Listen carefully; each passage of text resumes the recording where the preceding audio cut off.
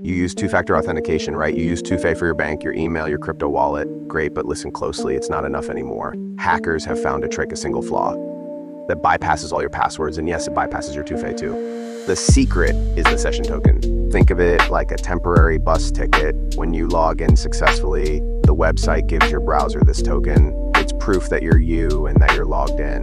This token is what lets you click around the site without having to enter your password every time.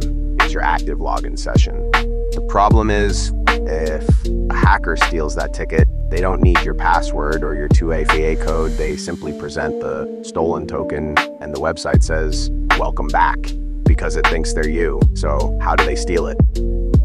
Usually through phishing links, you get a tempting email. Maybe it is a fake job offer, maybe a bogus copyright claim. You click the link, and while the landing page looks harmless, tiny malicious script runs in the background. That script instantly snags your active session token from your browser and sends it straight to the attacker. In just seconds, they have full access to your account, even while you are still looking at the phishing page. Don't panic.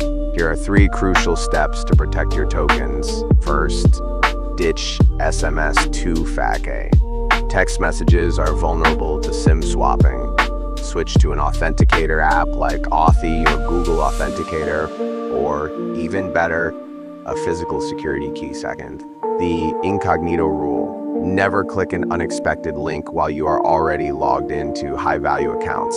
If you must check a suspicious link, open an incognito or private window first. No active tokens means nothing to steal. Third, review logins. Set a reminder to check the active sessions or security history section on your major accounts once a month and immediately log out any unrecognized devices. Session token theft is the new frontier for cybercrime. Your password isn't enough. Stay smart, stay safe, and share this with anyone who still thinks 2FA is their final defense. Hit that subscribe button for more security shorts